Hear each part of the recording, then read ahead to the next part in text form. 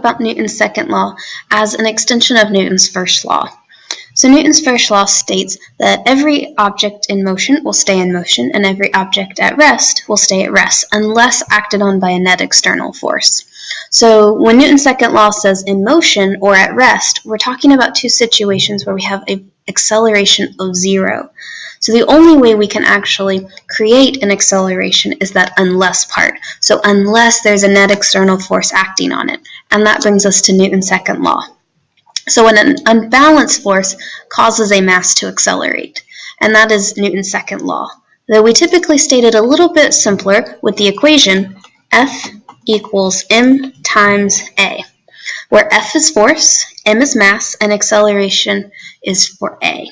We use newtons per force, kilograms for mass, and meters per second squared for acceleration as always. So we're going to do two quick examples just to make sure we're all on the same page. So example 1 says, a 5 kilogram block is pushed to the right along a frictionless track with a force of 10 newtons. What is its acceleration?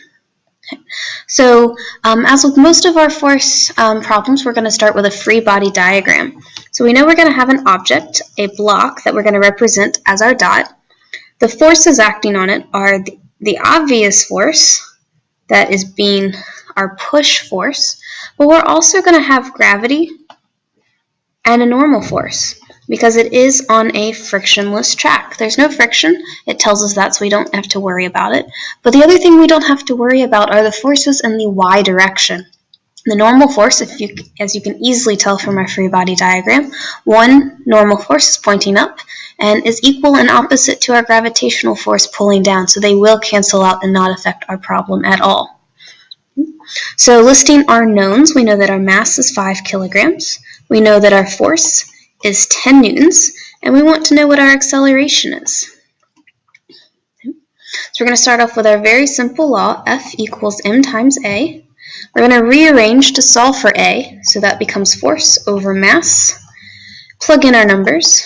So we're going to have 10 newtons over 5 kilograms, or an acceleration of 2 meters per second squared. We're going to start off real easy here. The only thing we'd have to add to make this problem complete is that we say that we push it to the right. That indicates some sort of direction. Force is a vector, and acceleration is also a vector. So to make sure that we include our direction, we're just going to say to the right.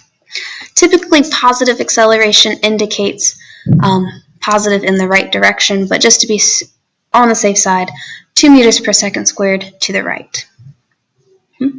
We're going to take this one step further, um, not too much further though.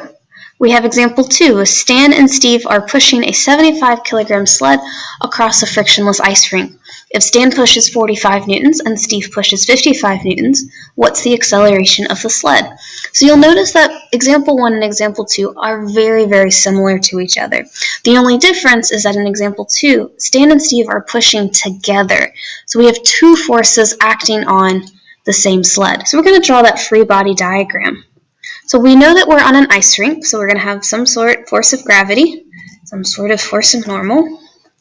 They'll cancel out, um, as they did in example 1.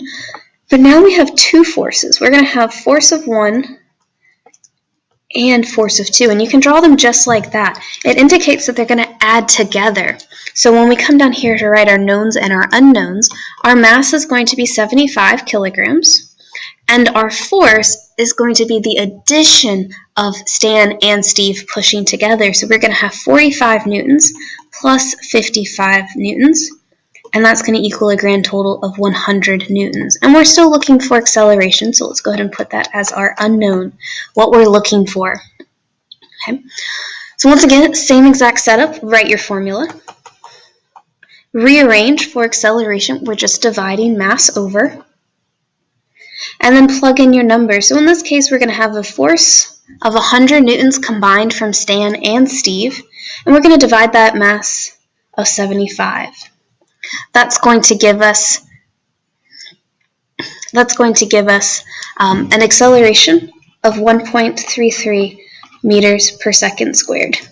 Now they did not give us a direction in the problem. So we're going to assume that the positive direction is the direction they're pushing, so positive force, positive acceleration.